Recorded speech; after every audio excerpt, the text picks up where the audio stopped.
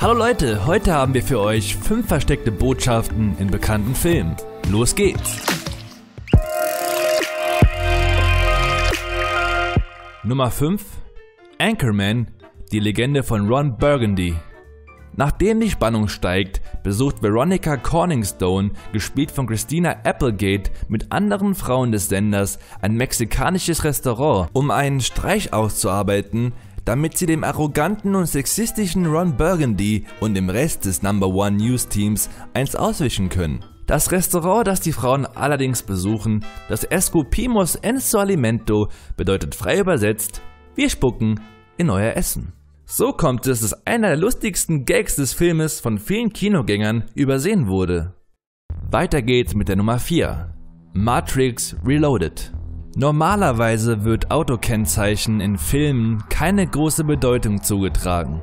Anders in der Matrix-Trilogie. Hier sind diese Kennzeichen nämlich eine Bezugnahme auf heilige biblische Schriften. Am Anfang von Reloaded sehen wir auf Agent Smiths Kennzeichen IS 5416, was sich auf Jesaja 5416 aus der Bibel bezieht. Fürwahr, ich habe den Smith geschaffen, der das Kohlenfeuer anfacht und eine Waffe als sein Werk hervorbringt.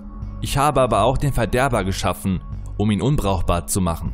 Einen weiteren Bezug finden wir während der Verfolgungsjagd auf der Autobahn. Trinity's Cadillac Kennzeichen DA203 bezieht sich hierbei auf Daniel 203. Und er sprach zu ihnen, ich habe einen Traum gehabt, der hat mich erschreckt und ich wollte gerne wissen, was er bedeutet. Die Nummer 3, I am Legend. Während der Jagdszene in I Am Legend passiert Robert Neville eine Werbetafel, die an einem Hochhaus befestigt ist.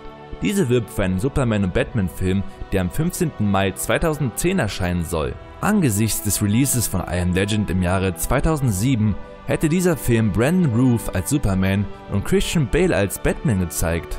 Scheinbar beinhaltete I Am Legend einen versteckten Hinweis von Warner Brothers, da der Film tatsächlich am 24. März diesen Jahres in die Kinos kommt. Zwar fast 10 Jahre später und ohne Christian Bale und Brandon Ruth, aber hey, besser zu spät als nie. Weiter geht's zur Nummer 2. Cloverfield. Am Ende des Films Cloverfield suchen Rob und Beth Zuflucht vor einer Kreatur unter einer Brücke.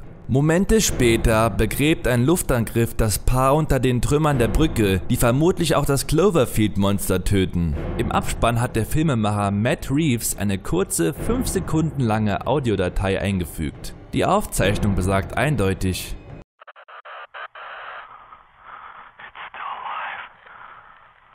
Ein Indiz dafür, dass die Kreatur in dem Luftangriff nicht getötet wurde. Doch diese Audiodatei ist nicht die einzige versteckte Nachricht in Cloverfield. Der Film beinhaltet nämlich noch drei versteckte Frames von drei klassischen Monsterfilmen. Them, Panik in New York und King Kong. Kommen wir zur heutigen Nummer 1. Fight Club.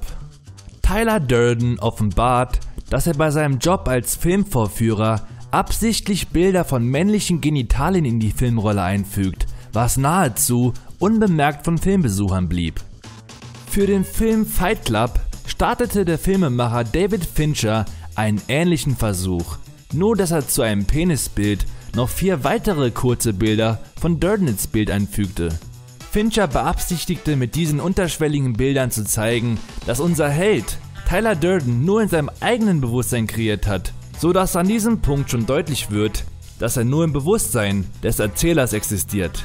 Außerdem ließ Fincher die Wendung der Geschichte erahnen mit einem dezenten Hinweis am Münztelefon, das der Erzähler benutzt, nachdem seine Wohnung zerstört wird. Dieser lautet wie folgt: Keine einkommenden Anrufe erlaubt. Kurze Zeit später ruft Tyler Durden aber auf das Münztelefon an.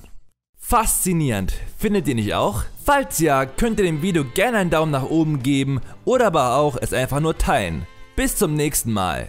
Tschüss!